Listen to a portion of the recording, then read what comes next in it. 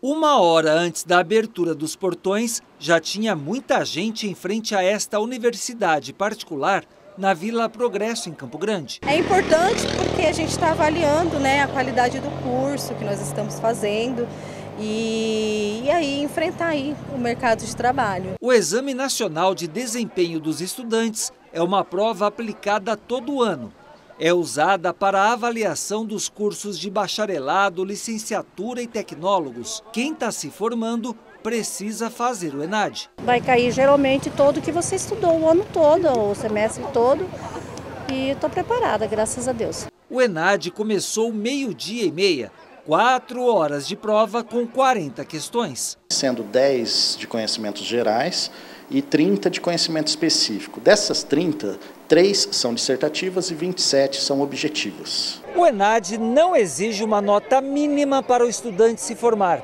Porém, quem não fizer a prova pode perder o direito ao diploma. Preparou para a prova ou não precisa?